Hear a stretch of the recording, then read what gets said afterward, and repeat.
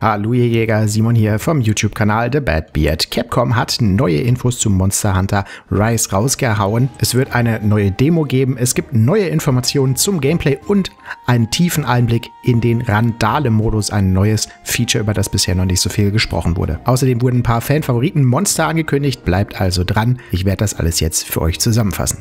Und los geht's. Die zwei neuen Monster, die angekündigt wurden, sind Narga Kuga und Zenoga. Zenoga ist eins meiner persönlichen Lieblingsmonster. Eigentlich beide zählen zu meinen Lieblingsmonstern. Damit haben wir ein enormes Roster in Monster Hunter Rise an alten Favoriten, an einigen auch zum Beispiel Anjanath, die aus World mit rüberkommen. Denn Monster Hunter Rise baut ja so ein bisschen auf World auf, was vielleicht immer noch nicht so viele genau wissen. Wie sehr das der Fall ist, wie sehr das eine Entwicklung ist. Dazu habe ich aber auch schon ein Video gemacht, das ich euch jetzt mal hier und am Ende des Videos verlinkt habe. Da sind also Informationen auch nochmal drin. Zenoga ist auch eins der Lieblingsmonster von Ichinose. Der hat damals am Design von Zenoga gearbeitet. Das liegt ihm also ziemlich nahe, das Monster. Und es ist halt der Vorzeigekerl für die Insektenglaive, denn die Jäger haben ja die Technik für die Insektenglaive in der Story sich vom Zenoga abgeguckt. Der hat ja auch solche Insekten in seinem Panzer, um die Elektrizität zu erzeugen. Und beide, sowohl Nagakuga als auch Zenoga, sind einfach auch unglaublich coole Monster mit einer super coolen Rüstung. Deswegen bin ich sehr froh,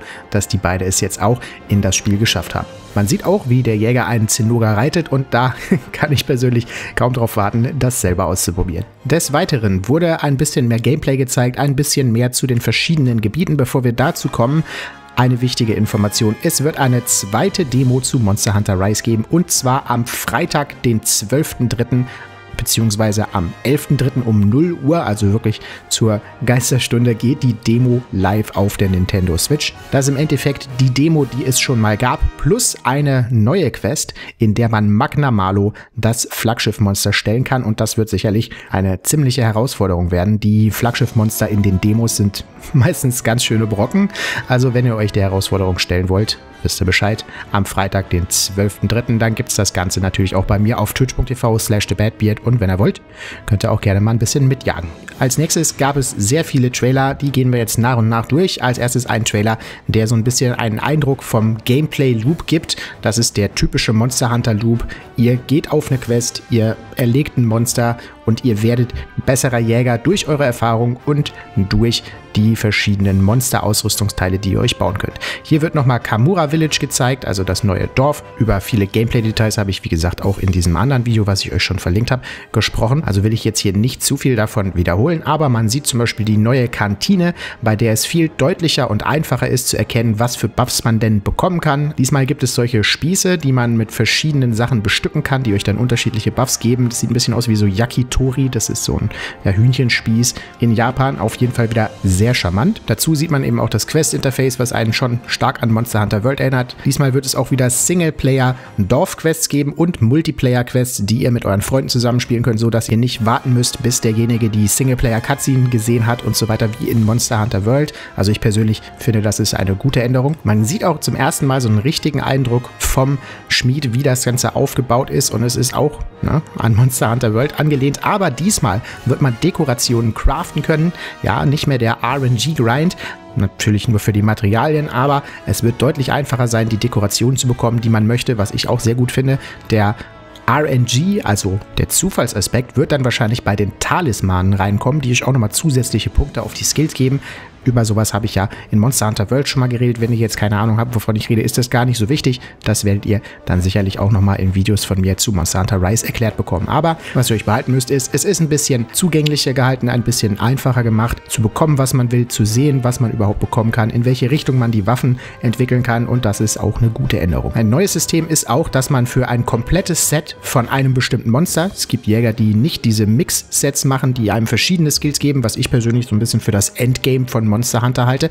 Aber wenn man jetzt gerne einfach von einem Monster das Set anziehen möchte, dann bekommt man tatsächlich noch weitere Buffs auf Ausdauer oder verschiedene Skills, was auch eine sehr coole Änderung ist. Es gibt einem einfach nochmal zusätzliche Optionen, mit diesen Set-Boni zu arbeiten. Natürlich könnt ihr dann wahrscheinlich auch wieder geschichtete Rüstung, Layer Armor machen, die euch einfach aussehen lässt, wie ihr möchtet und könnt unten drunter euer Set mixen. Also auch hier einige Optionen. Als nächstes haben wir einen ausgedehnten Gameplay-Trailer mit einem der neuen Monster, Gos Harang. Der sieht aus wie so ein japanischer Oni, also so ein japanischer Dämon und hat solche Eisklingen, die er sich an den Händen mit seinem Frostatem wachsen lassen kann. Die kann er auch auf euch werfen. Man sieht also ein bisschen sein Moveset, man sieht ein bisschen, wie die Jäger mit den ganzen neuen Mobilitätsoptionen gegen ihn vorgehen.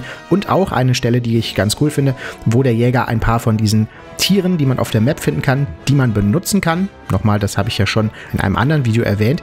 Mit denen kann man verschiedene Buffs kriegen. Man kann den Monstern Fallen stellen. Man kann eben weitere Optionen in der Jagd freischalten. Man sieht jetzt hier, wie er ein Tier einsetzt, was ihm einen Buff gibt, der das Monster aggro ziehen lässt. Also ne, wie in World of Warcraft oder so. Das heißt, das Monster wird aggressiv und folgt ihm auch über die Map. Das heißt, er kann irgendwo in die Jagdgründe gehen und das Monster hinter sich herziehen. Das nutzt der Jäger in dem Fall jetzt aus, um es in ein Areal zu ziehen, wo auch ein anderes Monster ist der Lagombi, der Schneehase, eines meiner Lieblingsmonster. Und dann knockt der Jäger den Lagombi aus, fesselt ihn mit den Seilkäfern und benutzt ihn, um gegen das andere Monster zu kämpfen. Eigentlich eine ziemlich coole Sequenz und zeigt so ein bisschen, was alles Neues möglich ist in Monster Hunter Rise. Als nächstes bekommen wir einen tieferen Einblick in den Randale-Modus mit endlich ein bisschen Gameplay dazu.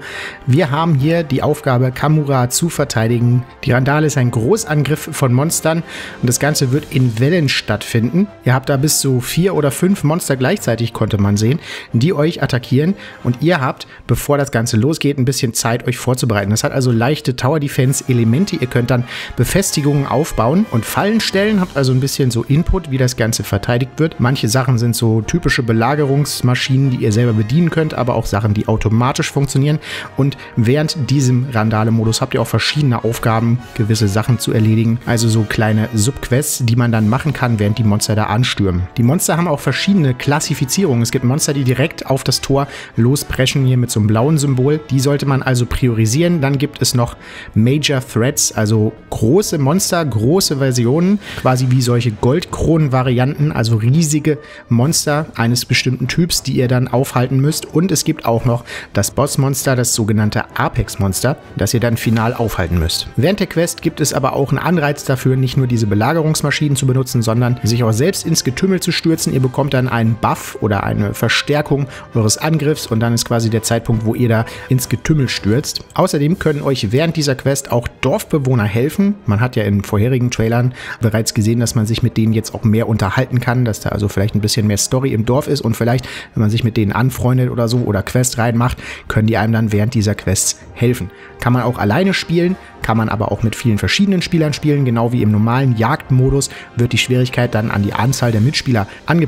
Ich glaube, das wird ein Modus, wo die Leute erstmal mit warm werden müssen, aber prinzipiell könnte das tatsächlich sehr interessant sein, da es hier nochmal eine ganz andere Dynamik gibt, diese Vorbereitungszeiten und so weiter, die verschiedenen Monsterklassifizierungen. Das klingt schon so, als ob das echt spannend sein könnte und abwechslungsreich sein könnte, je nachdem, welche Monster was machen. Da ist dann auch ein toller Grund, um verschiedene Teamzusammenstellung auszuprobieren mit verschiedenen Waffen oder Dekorationen, die einem Skills geben. Ich bin mal sehr gespannt, wie das Ganze ist und wir werden das natürlich auch zusammen auf twitch.tv slash thebadbeard ausprobieren, gemeinsam ein bisschen auf die Jagd gehen, wenn das Ganze dann rauskommt. Vergesst also nicht, ne, dort mal vorbeizuschauen und auch ein Follow dazulassen, wenn ihr das nicht verpassen wollt. Als letztes noch ein paar Informationen aus einem neuen Gameplay-Trailer, den sie rausgebracht haben. Da hat man nicht nur Zinuga und Nagakuga gesehen, sondern ein bisschen mehr zur Story, zu dieser Randale. Am Ende des Videos gab es einen Teaser für irgendein großes Schlangenmonster, wo man wirklich nur ganz kurz ein paar Frames gesehen hat. Da bin ich mal gespannt. Das wird bestimmt irgendwie ein neuer Elder Dragon sein. Außerdem